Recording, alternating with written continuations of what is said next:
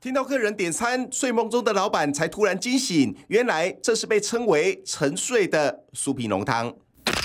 不少人深夜前往购买，都会看到老板趴在摊前睡觉，而这个地点就是嘉义市文化路上知名的脆皮浓汤。很可爱，我还有在网络上面看过他，因为在打瞌睡，然后被拍下来。很可爱，怎么说？很自然，吃到四点。主人翁是这位五六十岁的黄先生，明明下午四点多才出门摆摊，大约六点左右才开始营业。就算到了凌晨两点，也才摆摊八个小时，但会边睡边做生意，原来都是因为我早五点我就去产业了，做到现在转来啦。我若初二开始休，困了我就开始困啦，我困到面咧，就去到去产业啦。啊，人起来你边来在？啊，人客打叫啊。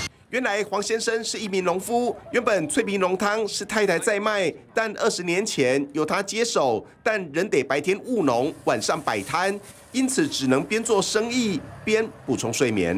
啊，休困我嘛爱趁一点仔钱做所谓啊，做油钱啊。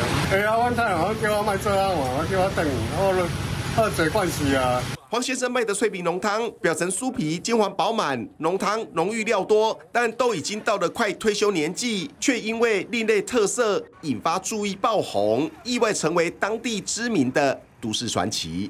TVBS 新闻季杰亨加以报道。想看最完整的新闻内容，记得下载 TVBS 新闻网 APP。